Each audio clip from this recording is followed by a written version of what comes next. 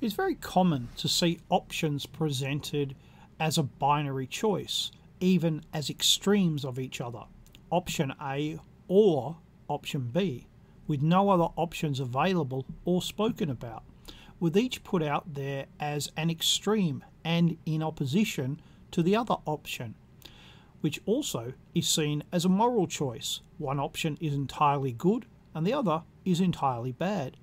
But in reality, even if there are only two options, neither will provide all of the answers. Each will have both good and bad outcomes. In other words, each will have trade offs. A trade off is where you don't get everything you want.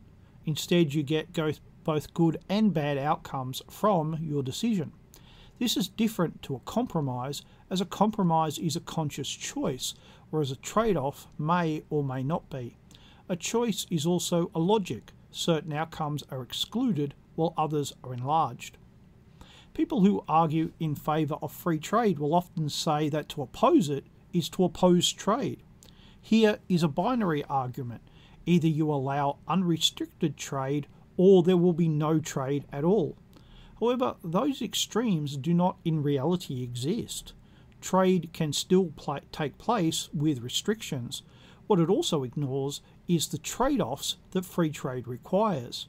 Jobs and manufacturing will tend to favour the country with the lowest wages and standards. The richer country will get cheaper goods, but the price is that it loses its ability to produce its own goods and it has less jobs. Those cheap items have a rather expensive price. Tariffs have their own trade offs. They protect local manufacturing and jobs, which is good. The trade off is that goods are more expensive, there is a more limited range, and it encourages complacency.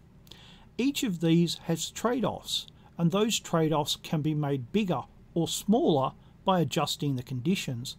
It depends upon what is trying to be achieved. If the aim is cheaper goods, then free trade is better.